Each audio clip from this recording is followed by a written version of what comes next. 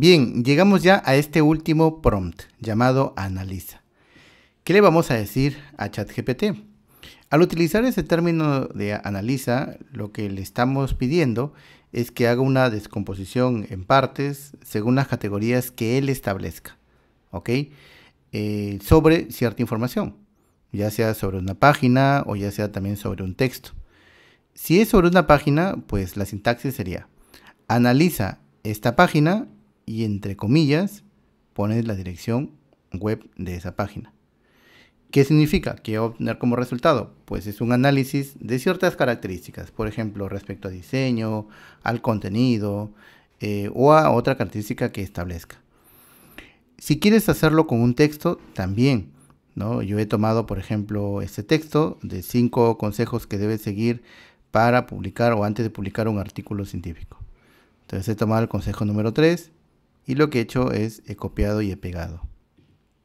Entonces acá me voy a donde dice analiza estos datos, entre comillas, aquí se utilizó de esta forma, ¿no? Analiza estos datos y pongo entre comillas y pego todo el texto que quiero que analice. Lo pego y luego al final cierro comillas. Ok, entonces esa es la estructura. Analice estos datos, abre comillas, pego el texto y cierro comillas. Y vamos a ver cuál es el resultado. Para este primer ejercicio, analiza esta página ya. Entonces vamos a, comprobar qué fue lo que hizo ChatGPT.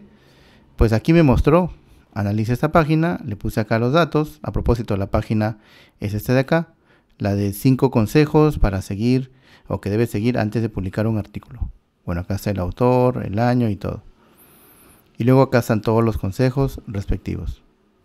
Inclusive tiene sus referencias, hay plantillas y bueno. Ahora, ¿Qué es lo que ha hecho ChatGPT? Me dice como respuesta. La página web ofrece un artículo titulado tal, la página está organizada de manera clara y fácil de leer, con una imagen llamativa empieza a describir. Aquí está describiendo. Luego dice, el contenido del artículo proporciona información útil y práctica sobre cómo preparar un artículo científico para su publicación. Los consejos incluyen este, verificar la relevancia, entre otras cosas. Y luego acá dice, en general, la página web es clara, fácil de usar y proporciona información útil y práctica. Podría hacerse de repente otro análisis. Si quisiera yo que se analice de manera diferente, pues le vuelvo a dar submit y de nuevo empieza a volver a hacer un nuevo análisis. ¿Ok? Y el análisis aquí va a ser de repente ya con otras características. Mira, acá me pone, dice, aquí hay algunas observaciones sobre la página web. La página web es fácil de leer y de seguir. Esta primera categoría de análisis. La segunda categoría, los consejos son relevantes y útiles. La tercera, em, la página web no proporciona información sobre quiénes son los autores, su experiencia en el tema. Bueno, sí se muestra, pero no sé por qué lo toma así. La página web parece ser un artículo patrocinado. Al final hay un enlace para la página principal de Recetas TIC. Ya, en general, la página web proporciona información útil y bien organizada. Bueno, ese es su comentario final. Entonces, eso es lo que significa análisis.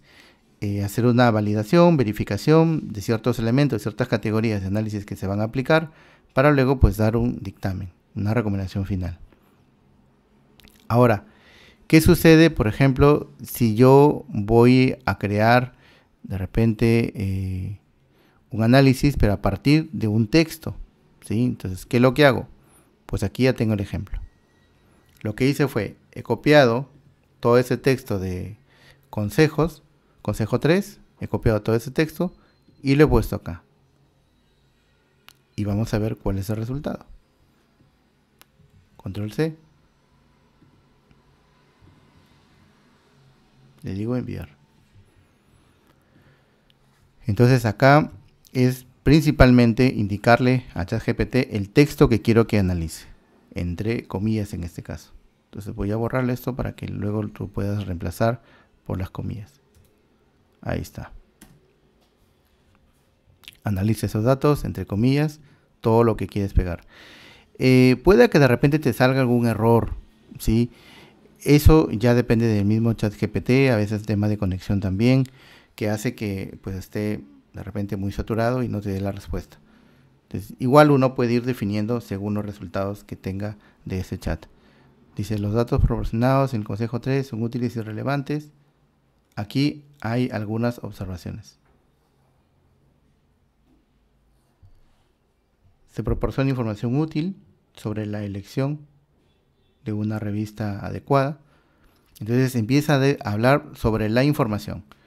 Luego eh, dice que bueno, hay recomendaciones sobre el tipo de revistas que se deben de utilizar.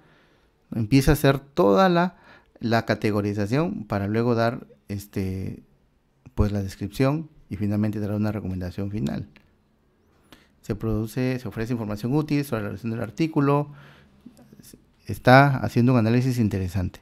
Entonces realmente es fabuloso que tú tengas trozos de información, trozos de texto y que los puedas analizar con ChatGPT. Así que con todo esto ya estás listo para poder poner en práctica cada uno de estos prompts que te acabo de mostrar, de estos 10 prompts que puedes tú incorporar dentro de ChatGPT.